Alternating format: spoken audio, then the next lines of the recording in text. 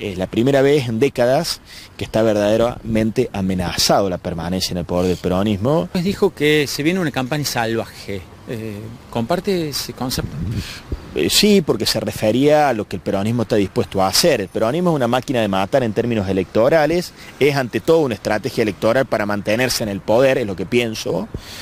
Entonces, es la primera vez en décadas que está verdaderamente amenazado la permanencia en el poder del peronismo y cuando eso sucede, eh, bueno, es un poco lo que viene pasando. Fíjate vos que vienen escribiendo cada cosa, que me iba a pelear con Juez, que me iba, se iban a pelear los radicales, que se iba a partir juntos por el cambio, que iban a adelantar la elección.